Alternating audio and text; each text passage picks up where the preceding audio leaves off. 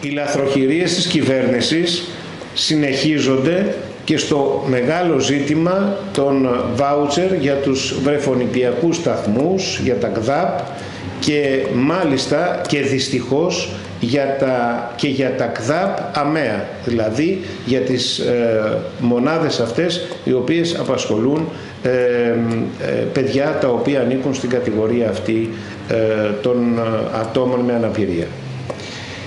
Η κυρία Μιχαηλίδου στην πρόσφατη επίσκεψή της εδώ διαφήμισε το γεγονός ότι έχει διαθέσει βάουτσερ και ότι ε, ένα μεγάλο αριθμό με βάουτσερ και μάλιστα ότι ε, δεν θα μείνει κανένα παιδί ακάλυπτο. Ε, τη διαψεύδει κατηγορηματικά η πραγματικότητα διότι δίδει βάουτσερ αφενός μεν χωρίς αντίκρισμα, δηλαδή βάουτσερ τα οποία δεν αντιστοιχούν σε θέσεις υπαρκτές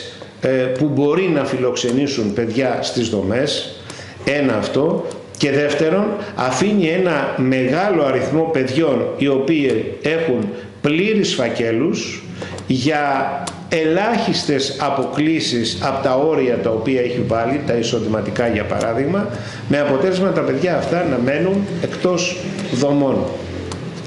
Θεωρούμε ότι αυτή η μεταχείριση των παιδιών είναι απαράδεκτη και θα πρέπει να αναθεωρήσει αμέσως την πολιτική της, να στελεχώσει τις μονάδες αυτές, έτσι ώστε τα βάουτσερ αυτά καταρχήν να έχουν αντίκρισμα και δεύτερον να ωφεληθούν όσο γίνεται περισσότερα παιδιά από αυτές τις υπηρεσίες.